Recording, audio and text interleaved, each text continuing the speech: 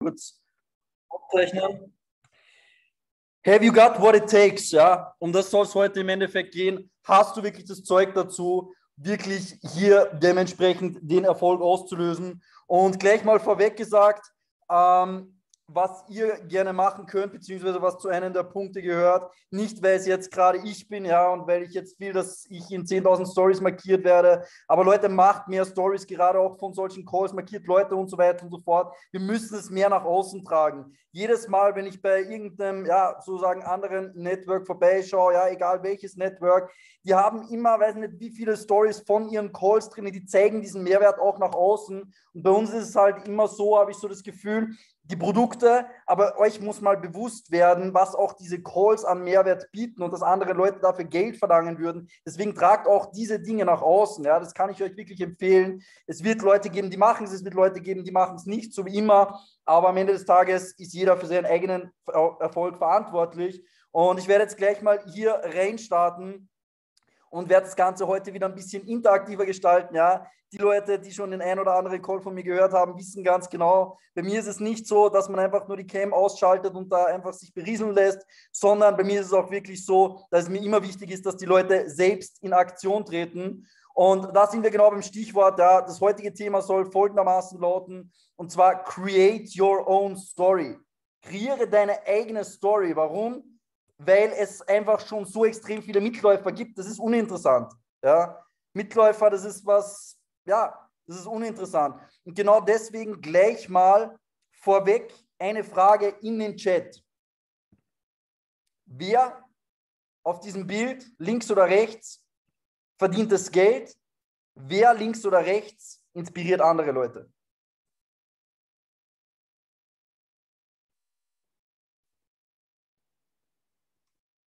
So, muss ich die Leute mal ein bisschen aufwecken? Yes, genau. Ah, okay, ich muss noch kurz. So, jetzt kann man öffentlich auch chatten. Perfekt. So, genau so ist es. Ja. Rechts verdient, links konsumiert. Ja, wie man hier sieht, auch wahrscheinlich den ein oder anderen Alkohol, ja, der da schon eingeflossen ist. So, nächstes Bild. Links oder rechts? Wer verdient das Geld? Wer inspiriert andere Leute?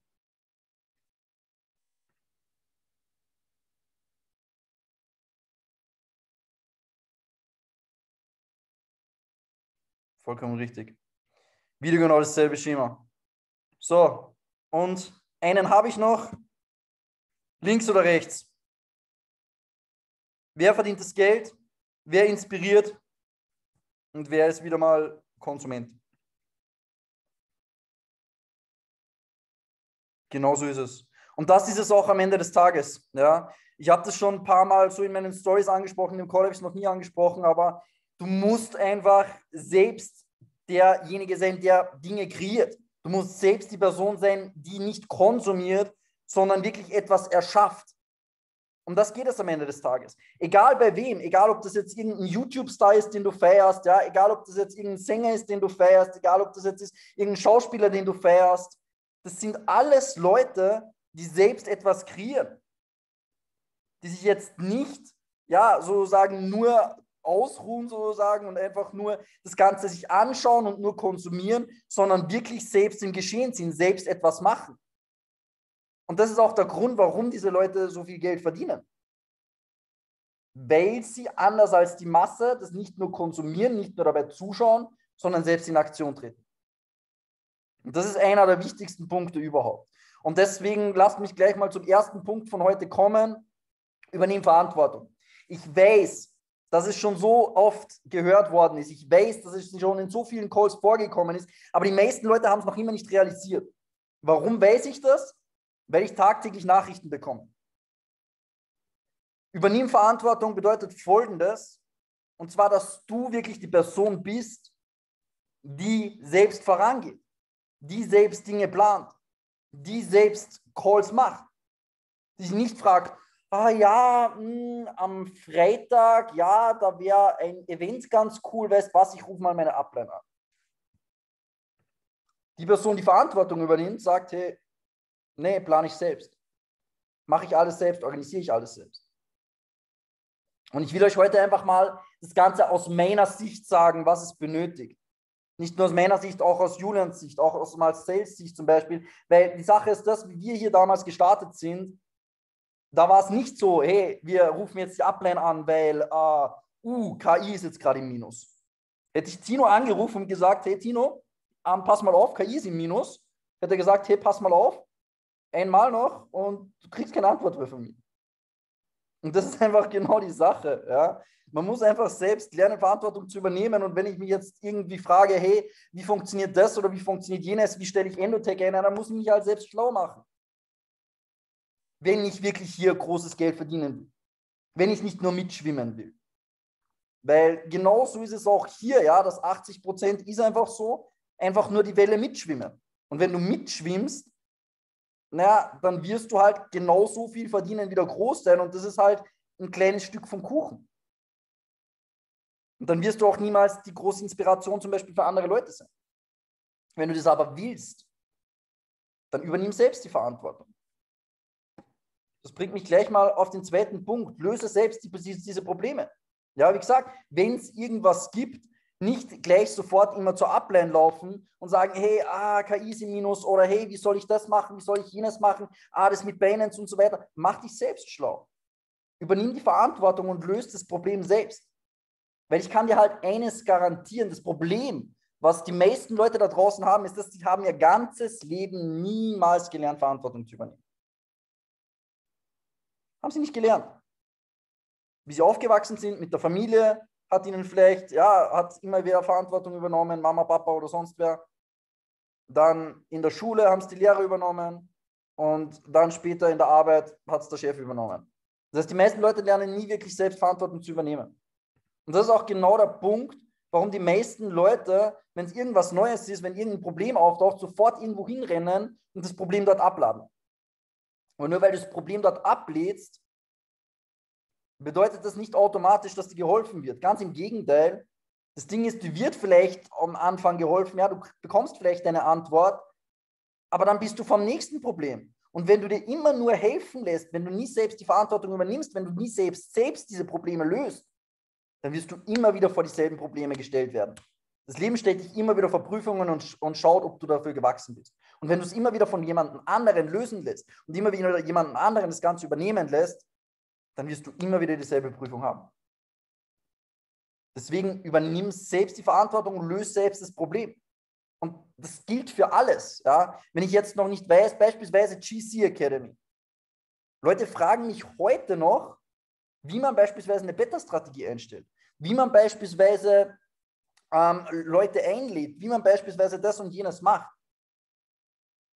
Es gibt eine GC Academy, da gibt es Videos, da kann man sich das Ganze anschauen, selbst anlernen, sich rausschreiben, wie es ich damals genauso gemacht habe. Selbst, ob, obwohl ich schon alles wusste, ja, obwohl ich da schon ähm, knappe zwei Jahre am Start war, wie diese GC Academy gemacht worden ist, habe ich trotzdem mir alles nochmal reingezogen, habe ich trotzdem nochmal alles aufgeschrieben.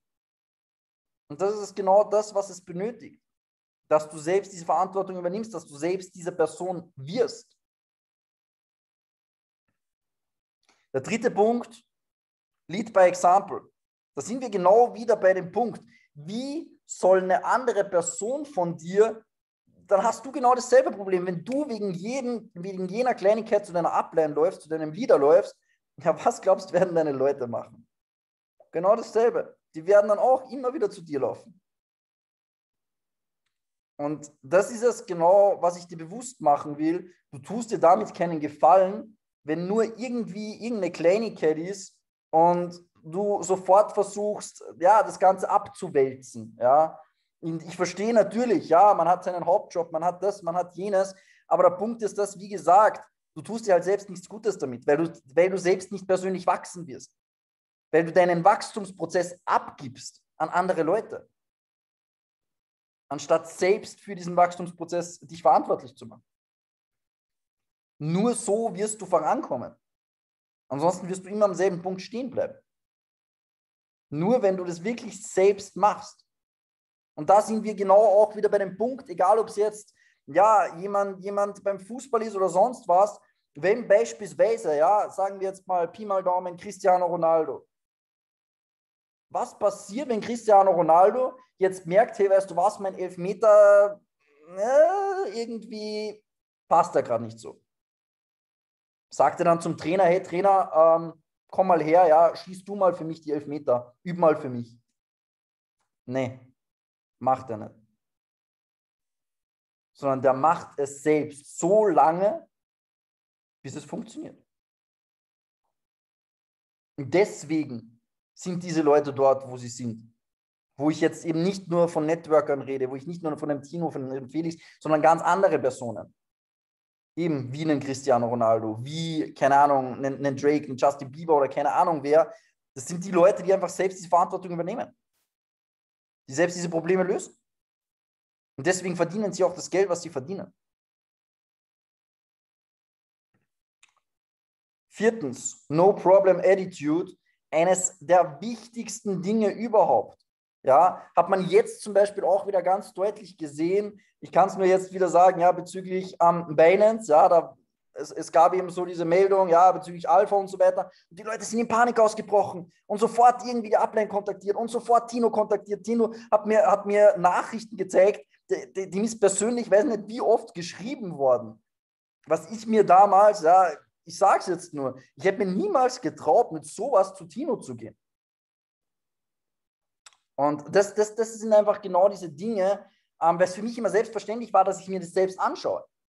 Und dass ich einfach selbst eine Lösung finde für das Ganze. Und wenn ich keine Lösung finde, ja, dann kann man eh nichts machen. Dann gehe ich beispielsweise zu Julian. Ja? Ähm, aber diese No-Problem-Attitude, das ist sowas Wichtiges, weil wenn du immer wieder dich auf diese Probleme fokussierst, es wächst immer das, auf was du dich fokussierst. Und wenn du dich jetzt nur darauf fokussierst, ah ja, aber ich weiß ja jetzt nicht, wie das funktioniert und er hat zwar gesagt am 23., aber was ist, wenn dann, äh, keine Ahnung, wenn jetzt, jetzt Worst Case, ja, stimmt in absoluter Weise nicht, aber ich kann mir vorstellen, dass manche Leute wirklich so denken. Ähm, aber was ist, wenn jetzt auf einmal dann am 23. mein Geld weg ist? So, das heißt, du machst eine riesengroße Blase, du machst ein riesengroßes Problem, wo noch absolut nichts passiert ist. Und diesen Frust und diese Negativität, die frisst du nicht nur in dich selbst rein, sondern du überträgst sie auf andere Leute. Und das ist genau dieses Toxische, was bei manchen Leuten immer wieder passiert, dass sie eben sich dann sozusagen so einen Kreis bilden aus Leuten, die dann nur noch die Probleme sehen. Ja, aber das. Ja, aber das funktioniert ja nicht. Ja, aber warum bekommen jetzt nur die den Rabatt und nicht ich? Ja, aber warum ist das? Ja, aber warum ist jenes? Das sind genau dann diese Punkte, ja, wo das Ganze sich zu einem toxischen entwickelt und obwohl eigentlich alles funktioniert, obwohl wir so eine geile Dienstleistung haben, obwohl einfach alles ja mega perfekt passt, sehen Leute dann nur dieses, diese, dieses ganz, ganz, ganz kleine Sandkorn und nicht das, was alles drumherum ist. Sie fokussieren sich nur noch auf das Negative. Und das ist das, was ich euch einfach bewusst machen will. Ja, dass das kein Leader macht? Glaubt ihr wirklich, dass jetzt beispielsweise, ja, wenn, beispielsweise Cristiano Ronaldo ist jetzt Kapitän in seinem Team. So. Und er geht jetzt zu den Leuten und sagt, ja, Jungs, wisst ihr, ähm, wir haben ja heute das Spiel und ja, ich muss, ich muss ganz ehrlich sagen, ähm, der eine, der hat heute, dem geht es mit dem Fuß nicht so gut. Bei mir ist es auch so, die linke Hand ist leicht angeknackst. Ähm, und es ist heute generell, ich habe heute schon irgendwie, keine Ahnung, mein, mein Horoskop gelesen, da ist auch schon was Negatives drin gestanden und so weiter und so fort. Glaubt ihr wirklich, der macht das? Glaubt ihr wirklich, der würden dann gewinnen?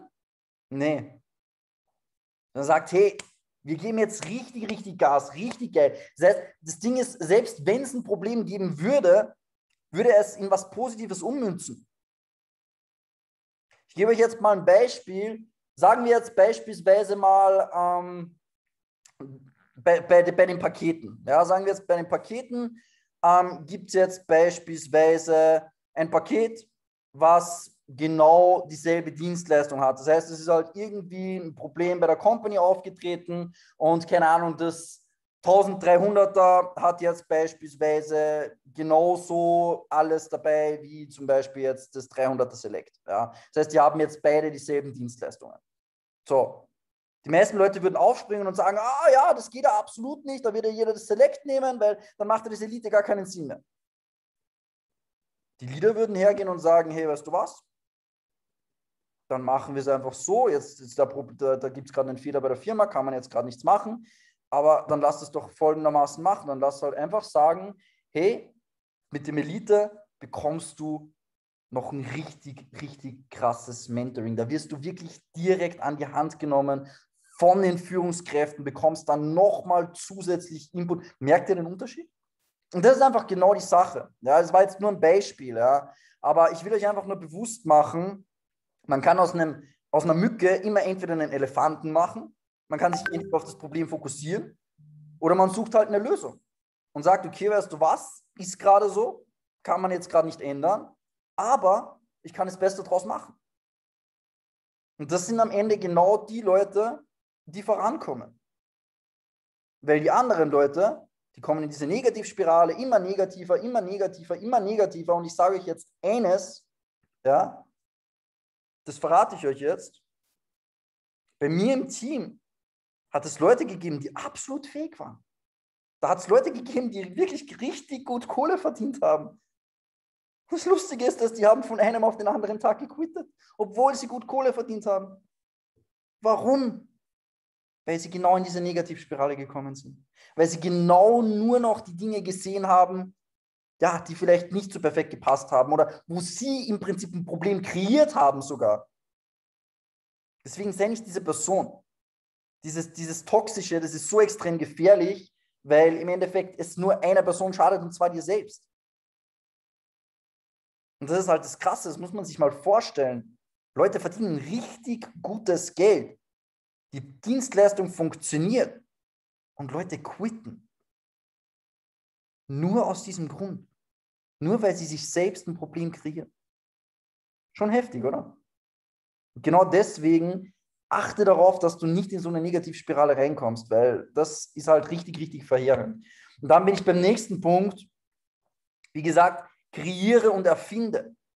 Sei du die Person, die was Neues reinbringt. Beispielsweise nehmen wir jetzt mal, ja, nochmal Tino her. Was macht Tino gerade? Er macht gerade diese ähm, Reels mit den Networker. Das ist auf, auf, auf lustig, ja. Ich habe sowas ehrlich gesagt in der deutschsprachigen Szene noch nie gesehen. Das heißt, was hat Tino gemacht? Er ist hergegangen und hat was Neues kreiert. Er ist hergegangen und hat was Neues erfunden. Oder beispielsweise, was haben wir damals gemacht? Wie wir ja eigentlich gerade frisch gestartet sind. Glaubt ihr wirklich, da hat es schon eine Präsi gegeben? Glaubt ihr wirklich, da hat es schon eine Event-Infrastruktur gegeben? Das haben alles wir eingeführt, das haben alles wir gemacht. Und das ist es eben. Sei die Person, die selbst kreiert, sei die Person, die selbst erfindet.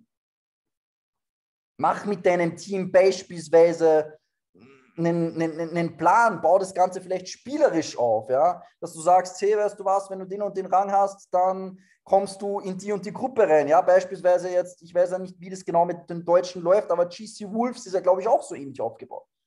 Wodurch ist es entstanden? Weil ein paar Leute, die Leader, was Neues kreiert haben, was Neues erfunden haben, sich Gedanken gemacht haben. Und genau deswegen sind es die Leute, die, die das meiste Geld verdienen und die die meisten Leute inspirieren.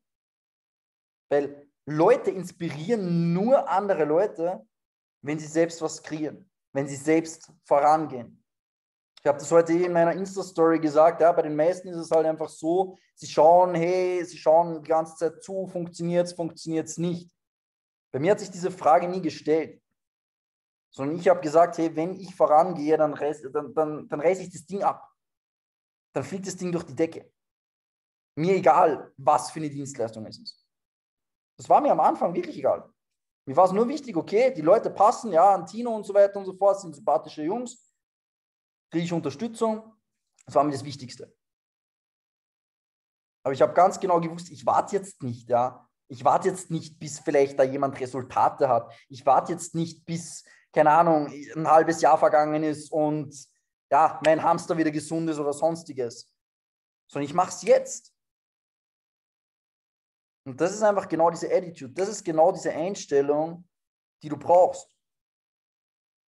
Dass du nicht immer auf andere Leute wartest, dass du nicht immer wartest, dass Robin sagt, hey, du könntest mal den und den Call ausmachen, den und den Termin machen. Hey, ähm, du könntest ja mal mit deinem Team einen Team-Call machen. Hey, du könntest ja mal dort und dort ein Home-Event machen. Dass die Verena zum Beispiel auch sagt, hey, du könntest dort und dort ein Home-Event machen. Sei selbst die Person, die vorangeht.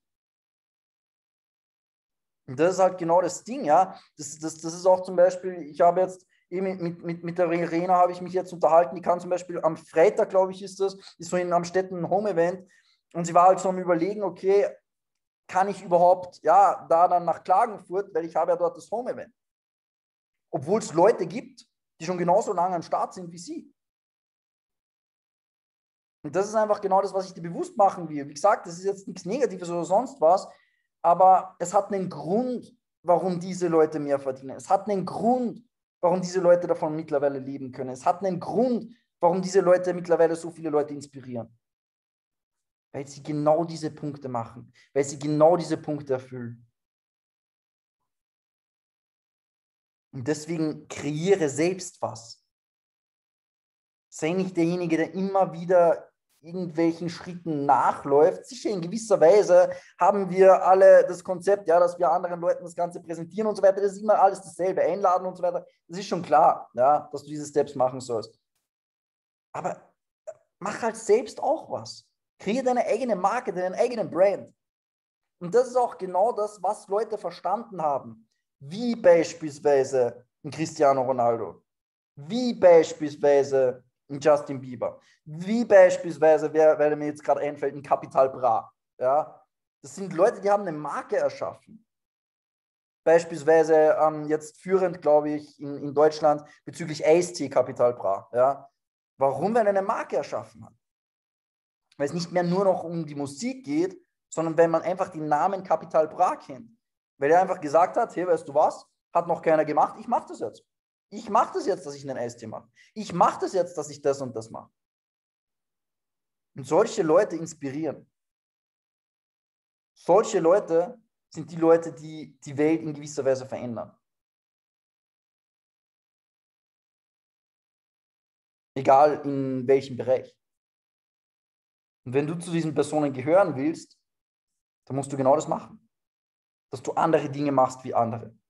Und ja, es werden dich Leute dafür schief ansehen. Ja, es werden dich Leute dafür auslachen. Ja, es werden Leute das und jenes sagen. Aber es muss dir halt egal sein.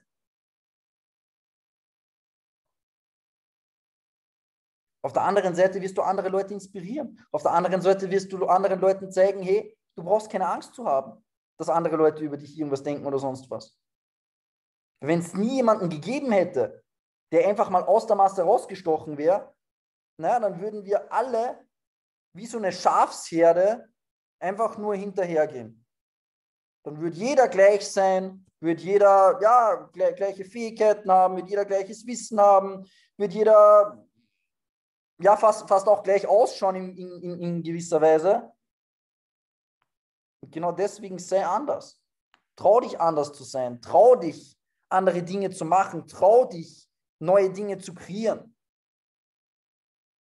Trau dich Dinge zu machen, was vielleicht andere Leute nicht so gut finden. Polarisieren ist das Wort. Polarisieren. Wie viele Neider hat Cristiano Ronaldo? Genügend. Hater, genügend. Justin Bieber, kann, ist jetzt egal, wen ich da jetzt aufzähle, ja, ist auch egal aus welchem Bereich. Die Leute, die außerordentlich gut sind, haben immer Hater, haben immer Neider. Genau aus dem Grund, weil sie polarisieren. Weil es ihnen einfach egal ist, was andere von ihnen denken. Weil sie einfach aus der Masse stechen und andere Dinge machen wie die Masse. Und der letzte Punkt ist eigentlich das simpelste, aber auch der schwierigste Punkt. All diese Punkte tagtäglich zu machen. Tagtäglich diese Punkte zu erfüllen auf täglicher Basis. Weil es bringt wie immer nichts, wenn du es einfach kurz mal machst, wenn du kurz mal motiviert bist, wenn du es mal ein paar Wochen machst. Dadurch ist noch keiner erfolgreich geworden. Schaut euch einen Erfolgsweg an, ja, egal von wem.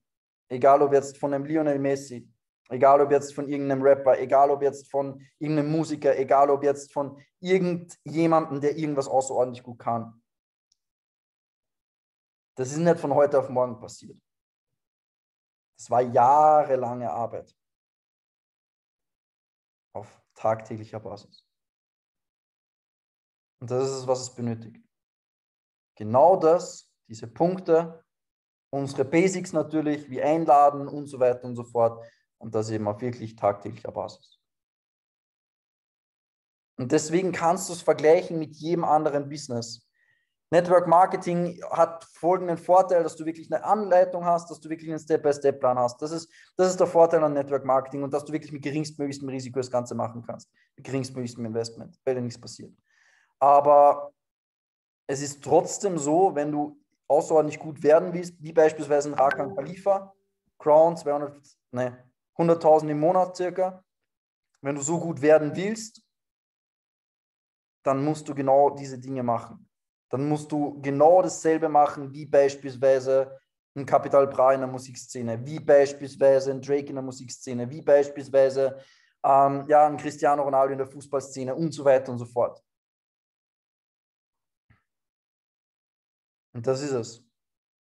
Und genau diese verrückten Leute braucht es, um Veränderungen zu schaffen. Genau diese verrückten Leute braucht es, um andere Leute anzustecken. Das ist das Wichtigste überhaupt. Ja. Und ich nehme jetzt noch ganz, ganz kurz Zeit für Fragen. Falls ihr Fragen habt, Anregungen, Wünsche, Bedürfnisse, könnt ihr das Ganze gerne in den Chat reinschreiben. Das war es auf jeden Fall von meiner Seite. Ich hoffe, die ein oder andere Person hat sich was mitnehmen können von dem Ganzen. Und ich kann es euch wirklich nur noch mal ans Herz legen, bevor ihr irgendjemanden kontaktiert oder sonst was. Wie gesagt, ist ja völlig okay, Fragen zu stellen oder sonst was. Aber seid ihr immer einem bewusst.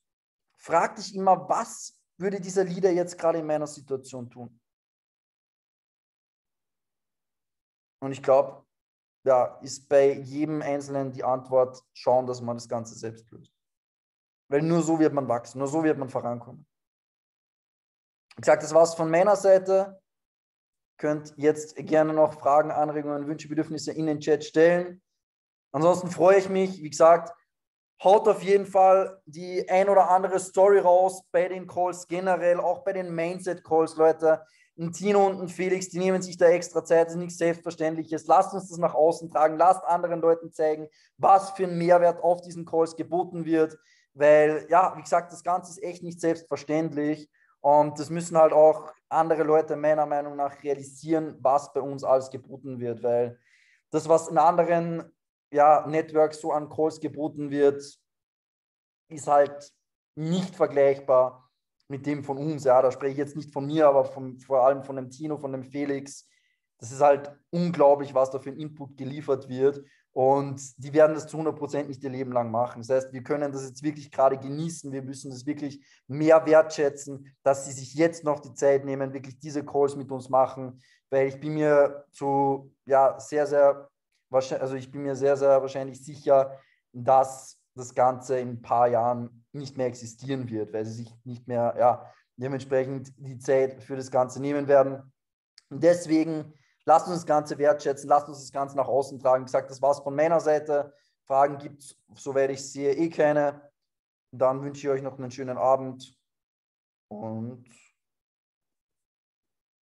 ciao.